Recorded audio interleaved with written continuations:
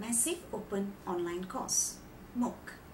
MOOC is a convergence of physical and digital space to improve academic achievement. As an educator, I'm privileged to be a part of it as I'm able to enrich the learning of my students through MOOC. And for me, there are two concepts in MOOC which I find truly amazing. One, autonomous learning. MOOC enables students to become autonomous learners. It allows students to take responsibility of their own learning where they're able to organize their learning and learning takes place at their own pace. Therefore, they are very well motivated to learn. Two, interactive.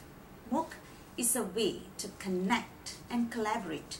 Students can experience connectionalism in its truest form. They can connect, share ideas and knowledge with peers from other polytechnics who are enrolled in the same class. Along the way, they develop their communication skill as well.